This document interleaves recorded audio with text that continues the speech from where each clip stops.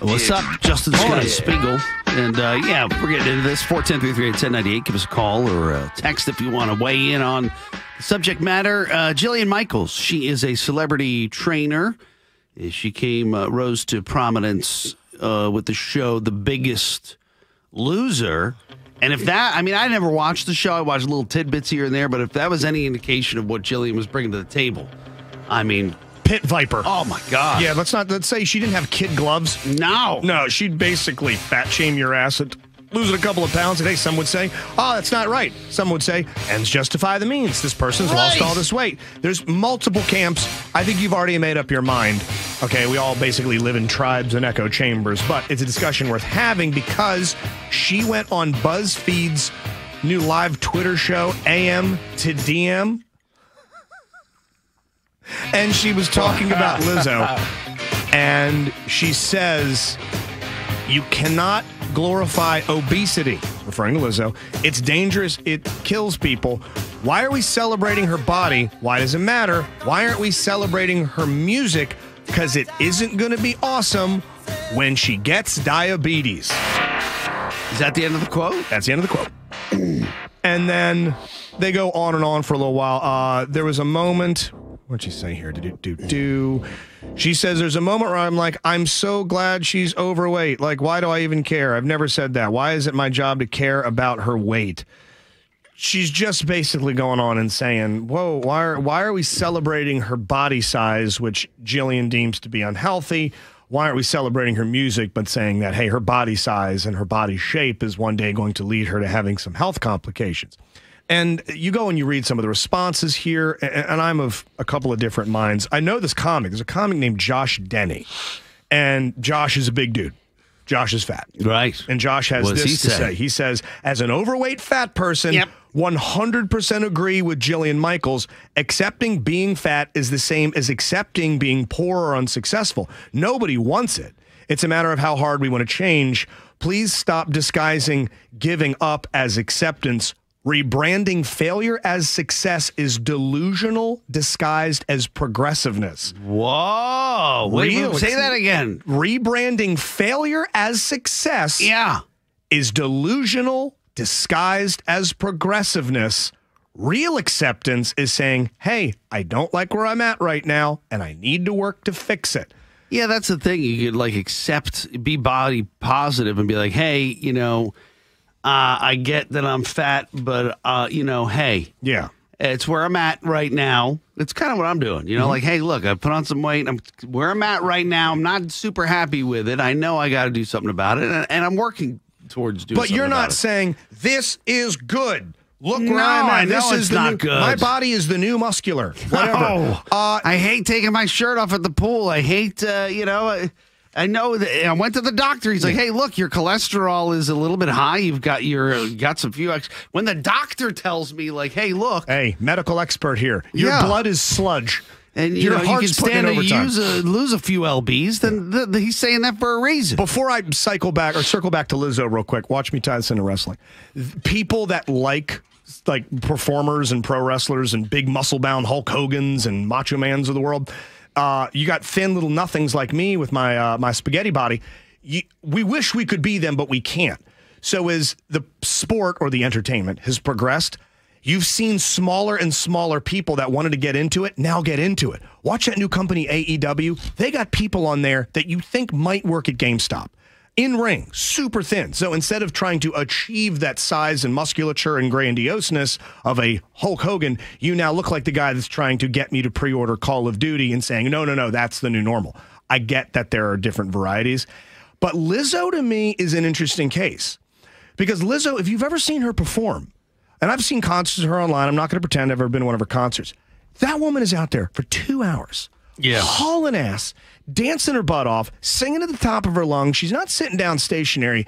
She moves nonstop. So her current weight and body type, that might be her level of healthy. and that Uh, was the thing I was gonna say. Like I've seen photos of her from when she was younger, and she's just always been big. I think this is just her natural Body type, size. yeah. I'll, I'll, I'll make another comparison. If anybody knows or wants to look up, look up Big Country Roy Nelson. Big Country Roy Nelson is one of the more head scratching MMA fighters of all time. He has got a gut and he has got a set of man breasts on him that Jillian Michaels would throw up into a trash can if she saw. But that guy can fight for five rounds nonstop, doesn't get winded, bangs just as hard as a lightweight because that is kind of his natural size. So, where I think sometimes people make the misinterpretation that skinny equals healthy and fat equals unhealthy. We've known plenty of sickly, soon to die skinny people, and we have met some very, very large, very uh, voluptuous people that could probably beat us in a marathon. I think it's about like how you feel and what your health is like. Get blood work done. Is your heart okay? Cardiovascular system okay? Because her her concerts lead me to believe she's got she's got the gas tank of of of a flyweight in the UFC. No problem. Yeah, I'm trying to think back. God, I, I'm sure the texters will be able to uh, help me out with this. But there was a magazine cover, maybe what two, two or three years ago. Yeah, yeah. Where they had a, a, a, a large woman on it, and then there was somebody that came out, much like Jillian Michaels did. Was it the woman with swinging the hammer at the hammer throw on the ESPN body issue? And she might have been a little. She was stockier. Maybe, and then. Uh, May, was a Piers Morgan? I keep getting Piers Morgan. Oh, Piers Morgan popping up. I can't remember, but then another you know celebrity came out and was like, "Hey, why the hell are we celebrating this? This is bad." And then everyone took a run at, at, at the person saying it's bad to to uh, celebrate obesity. So coming up, we're going to talk to Bobby, then we'll talk to you. What do you think, Jillian Michaels? Grilling down on Lizzo, saying, "Hey, it's not going to be awesome if she gets diabetes." And Like, saying- right? I mean, look, I I see both sides of it, but if we keep going in this direction where we're just celebrating obesity, then wh- where where where, where, where where's it end? We do live in a strange time where we will clown on Peloton ads trying to get you healthy and we'll celebrate people gaining weight. But maybe this body shape suits her, maybe it does not. And Jillian Michaels has a point. Uh, just saying, hey, why are we celebrating how big she is? She's not living uh, a healthy lifestyle. Then other people are saying, have you ever seen her perform? She's running around on stage like her ass is on fire for two hours, not getting tired, still doing the damn thing. Maybe her current weight is healthy for her. Didn't she bend over at an NBA game? And you saw everything, the entire surf and turf. You saw all of it. you know, it's like you don't have to show off, okay? You don't have to do that. You feel free to show me any parts of your ass you'd like. Uh, morning, Misha. How you doing? Good morning. How are you? Lizzo fan? Yes, very much so. Uh, what say you?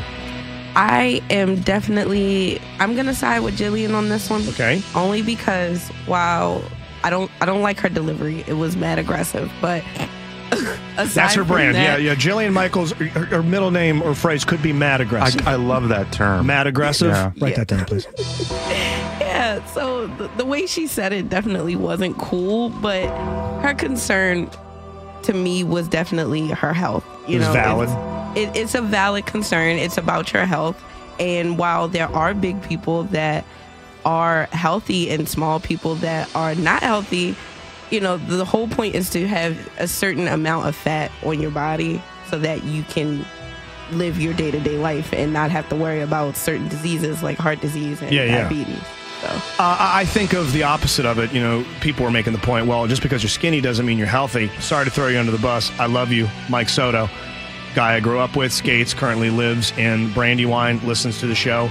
You're 42 right now. You might weigh 117 pounds. You're the sickliest person I've ever known. You get a cold every four days, and I believe your bench press is nine. He is the sickliest man you've ever met. and not not to sound cliche, but I mean these celebrities, of course, are role models, Mm-hmm. so you can go that route. But then you can go the route of, you know, kids are overweight. Kids are being bullied, and Yeah, yeah. You, you know, you make them feel better seeing uh, somebody, a celebrity Yeah. who's overweight. Yeah, that you, Yeah, you but is say, that like reinforcing uh, this is the new normal? a negative? Yeah, You know what I mean? And again, Oh, it's a slippery slope. Hey, yeah, you don't even know. Uh, I'm, I I'm a- support both sides. Look exactly. I'm yes. afraid to say the wrong thing. too. Luck, of the- you know. It, we got an email. Yes, people come in all different shapes and sizes. I agree with that, right? Uh, but uh, uh, you know, eh, um, This size Celeb- works for Lizzo. It might not work for you. celebrating an unhealthy lifestyle or an unhealthy um, is that the right thing to do? Just to not hurt people's feelings? I don't know. Who would you say is healthier, Lizzo or Wes Scantlin? Uh, Wes Scantlin is the Puddle of Mudd lead singer. Exactly. Just to put in uh, perspective. Perspective. Thank you. And um, well, no, a, a texter brought up the great point. It's like, look, for years and years and years and years, all these rock stars were, you know, we've we've we've celebrated them. The Toxic Twins and Aerosmith. Uh, and it's like they all the rock stars openly admit that to doing drugs and having sex with you know uh, lots of females and just drinking and drugging and sexing and it's like oh well they're rock stars that's just what they do uh, but okay so then why is it any different with uh, like a Lizzo you know like Yeah. It seems like she probably lives, as far as her narcotic alcohol intake, a much healthier lifestyle. But who knows? She might have like a caloric surplus.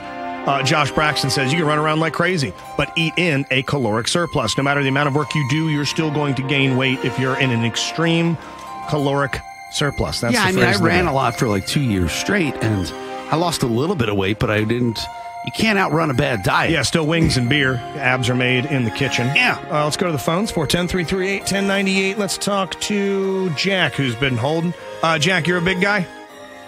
I am. I am. Um, Height- uh, height- 5'10 and about 300 pounds. oh damn that's son. big boy. Yeah, son. But, but I just had a physical.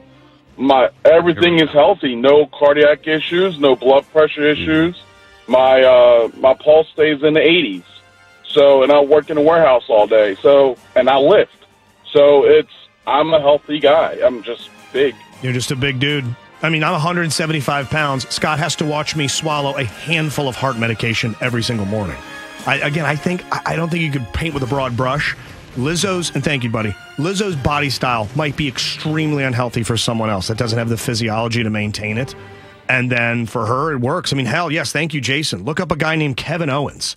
Kevin Owens looks like a competitive pie eating champion, and he moves around quicker than most WWE cruiserweights do. Uh, let's go back to the phones here. Talk to Stacy in Owings Mills. Stacy, good morning. Good morning. Hey. Good morning. Um, so Jillian definitely has a point. Excess fat can contribute to health issues, but the part that she's missing, and I guess society as a whole, for the most part, they're focused on diet and exercise, which like obviously is important. But you can have a spectacular habits, but you could also have an underlying health issue like an auto autoimmune disorder. I have Hashimoto's thyroiditis, and the thyroid controls your metabolism and all of the, uh, which basically controls everything. So there are times when you put on weight and you have no clue why, and it can be completely impossible to get off. And there's um, It's other not just because you're autoimmune- ripping off wings and beer all day That's long. what I you might have. I have, have, a, I have that. He's got the thing that you I have just said. Hashimoto. Yeah, I just figured out I have that. Oh, you- Scott's got Nakatomi Oh. Plaza thyroid issue, and that's the reason he's got the conditions that he does.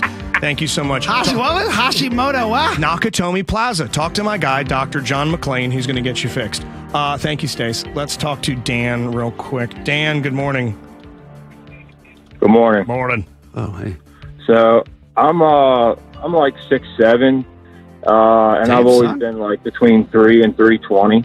Damn, you're Uh, huge. even when I was in high school, like lifting, football, sports, all that. Um, the smallest I ever was was probably two seventy five. Mm. But I go to the doctors and they tell me I'm as healthy as a horse. Now let me ask you a question. You know, At, I- uh, yeah. le- eh, let me ask you something. At six seven, right? Are you just uh, huge in the pants? Yeah, are you just got a massive. I just love to disappoint. Oh no! But he probably can't see it. Yeah.